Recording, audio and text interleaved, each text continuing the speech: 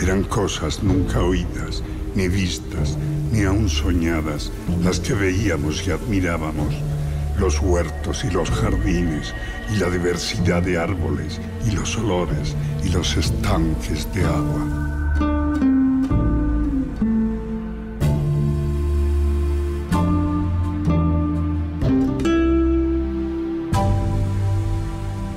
pero es un tema que durante muchos años me tiene abducido y en el que he trabajado no solo en lo que respecta a la documentación, sino me ha ayudado también mi mujer Helen y, y Antonio Saura, el hijo de Carlos Saura.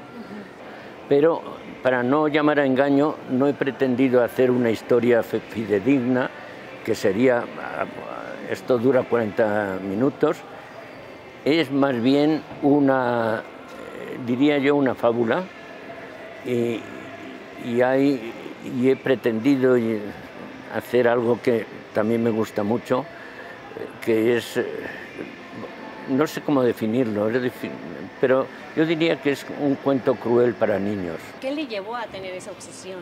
Hay dos elementos que han sido primordiales para arrancar. Uno, el, libro de Bernal Díaz del Castillo, un soldado de 84 años, que por cierto ahora ya le he alcanzado en edad, pero eh, que es un testimonio noble de la parte castellana, pero que nos habla con, tanta admiración, tanto de Montezuma, de México, su deslumbramiento al, al llegar a México y en su momento abriéndoles las puertas.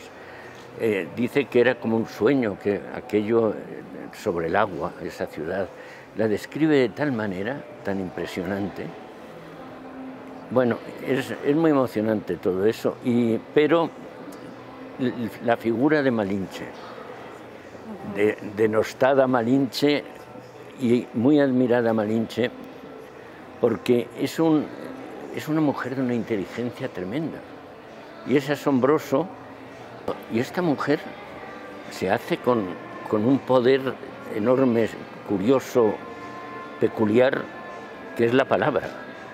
Y la palabra es un elemento en esto que llamamos ya directamente la conquista, en su relación con, con Moctezuma de Cortés.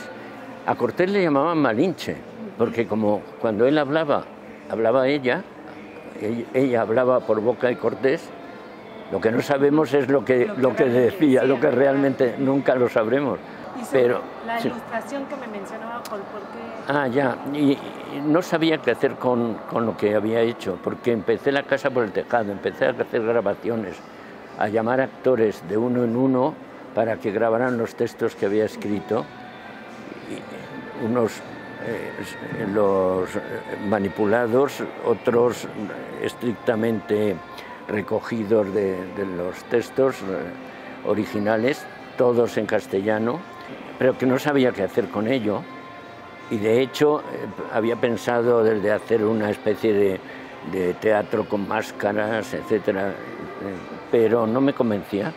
Tenía toda la grabación, toda la música, toda la banda sonora y no sabía qué hacer. Y encontré un libro de un dibujante que se llama Paulo, Pablo Auladel y que trataba sobre eh, el, mundo perdido, el mundo de Milton y, me, sedujo y encontré que era una clave. Pero no quería hacer dibujos animados, entre otras cosas, porque también hubiera sido muy caro, muy laborioso. Y él hizo grandes dibujos también fue muy laborioso, sobre las cuales yo eh, moví la cámara eh, como si rodara. ¿Considera que no está como, no es una cinta para todo el público?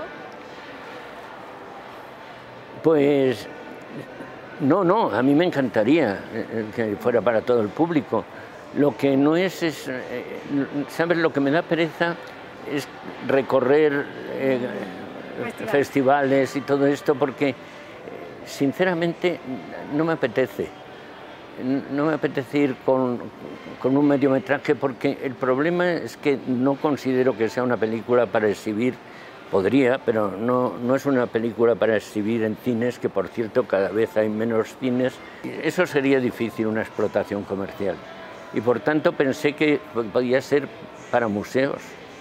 De hecho, lo presenté, la presentamos en el Museo del Prado y, y tuvo un éxito enorme.